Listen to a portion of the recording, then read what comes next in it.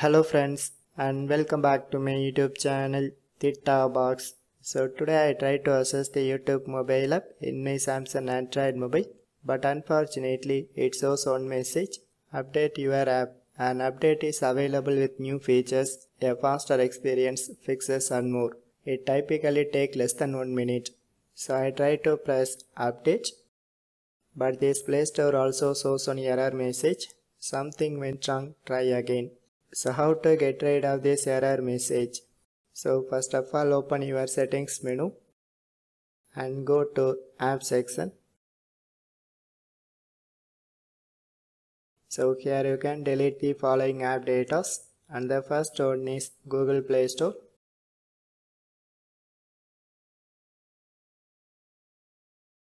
And also clear that Google Play Services app data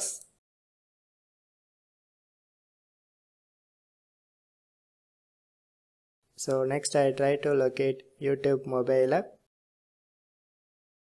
So same way you can clear this app data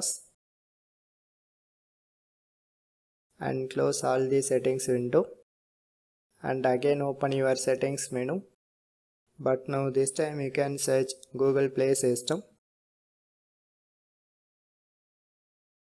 So and then check it if it is shows any new update or not. So once the update process is completed and don't forget to restart your Android mobile. So after the restarting is completed and one more time you can try to access your Play Store. So I hope this method will work for 100%. So friends if you have any doubts just comment to me. So otherwise just leave a one like and also my channel have a super thanks feature so just support it. So for more tech videos you can subscribe my beautiful tech channel Theta Box and thanks for watching.